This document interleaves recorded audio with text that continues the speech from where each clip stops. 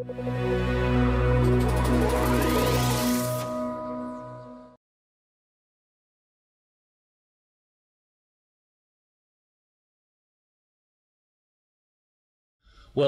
uh, it's been three years since the, the first edition, uh, and it's pretty clear that uh, Victoria has embraced the uniform evidence law. Uh, there have been a number of uh, important decisions, uh, the Victorian Court of Appeal, some single judge decisions, and also, of course, there's decisions in other jurisdictions which have relevance to Victoria.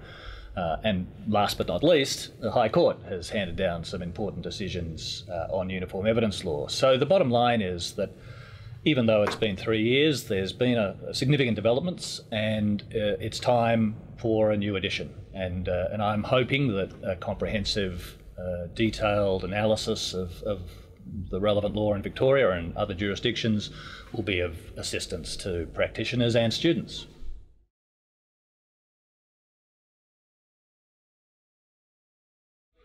Well, there have been a lot of developments uh, at the High Court level. Uh, I think the most the, the, the, developments that stand out the most would be the decisions of the High Court in respect of opinion evidence, because there's been uh, uh in Lithgow Council there was a decision relating to um, uh, lay opinion evidence when that could be admitted, despite the general exclusionary rule.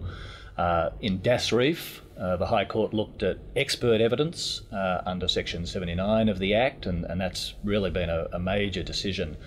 Uh, hasn't resolved all the issues. There's still big question marks, indeed, uncertainty about what exactly that decision stands for, because there was some divergence of opinion, as not uncommonly in the High Court. But nonetheless, it's, it's moved the law considerably.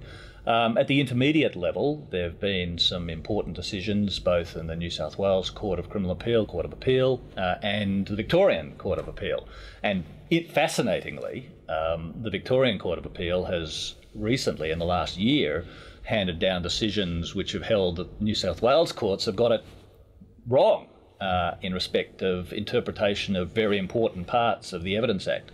So, of course, that's generated a lot of uh, uh, talk, uh, and in New South Wales only yesterday. Uh, the uh, New South Wales Court of Criminal Appeal said that they thought they were right and the Victorians were wrong, and so we've now got this divergence of opinion, and uh, no doubt that'll have to be resolved by the High Court one day. But there have been, as you can see, um, a, a, really quite a large number of important developments. The law's still got a long way to go in getting clarification in all the issues, but uh, one function of a book like mine is to try to give an up to date account of where we stand at the moment.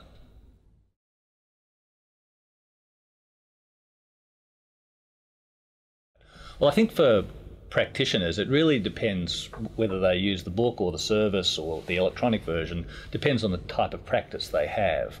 Um, if you're somebody who, who really is involved in evidence law questions on a day to day basis, then it means really you need to be up to date.